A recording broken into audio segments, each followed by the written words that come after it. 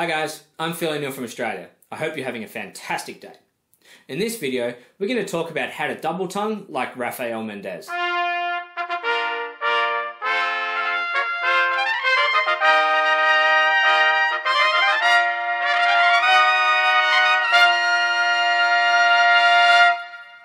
As I mentioned in the introduction, we're going to talk about how to double tongue like Rafael Mendez. If you guys are looking to improve your trumpet playing, consider subscribing. You'll get a notification every time I upload a video on trumpet playing, and you don't have to go searching for it.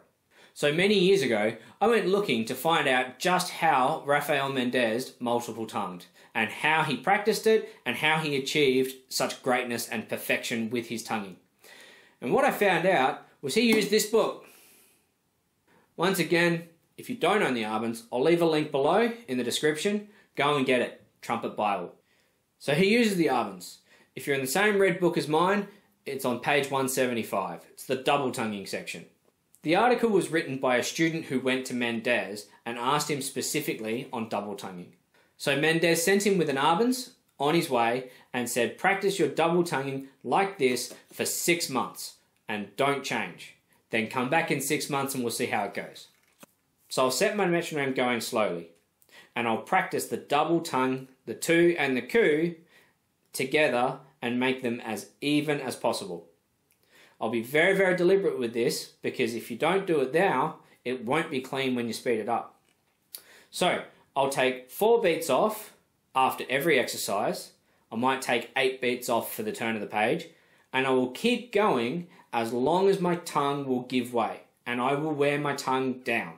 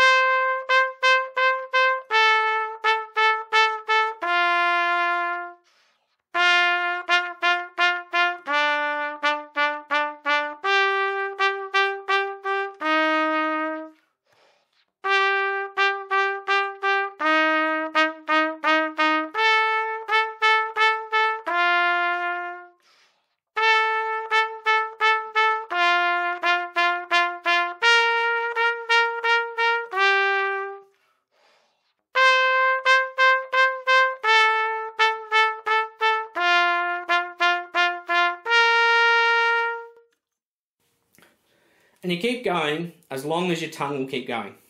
Now, It's a lot more fatiguing at the slower speed because you're being very, very deliberate with the tongue. Do that for a couple of weeks and then speed it up. But keep going as long as you possibly can.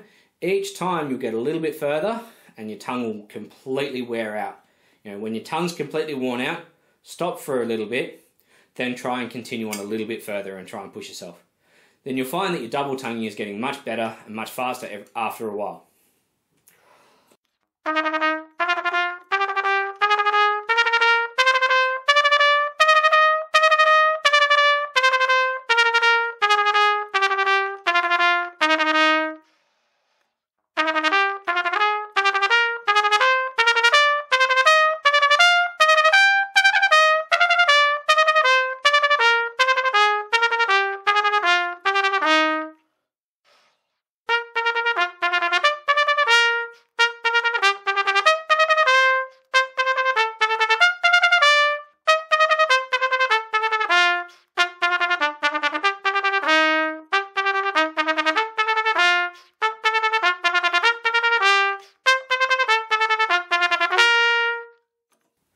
Once again, if you're looking to improve your trumpet playing, consider subscribing. You'll get a notification every time I upload a new video on how to play the trumpet. Once again, I'm Phill O'Neill from Australia, and happy practicing.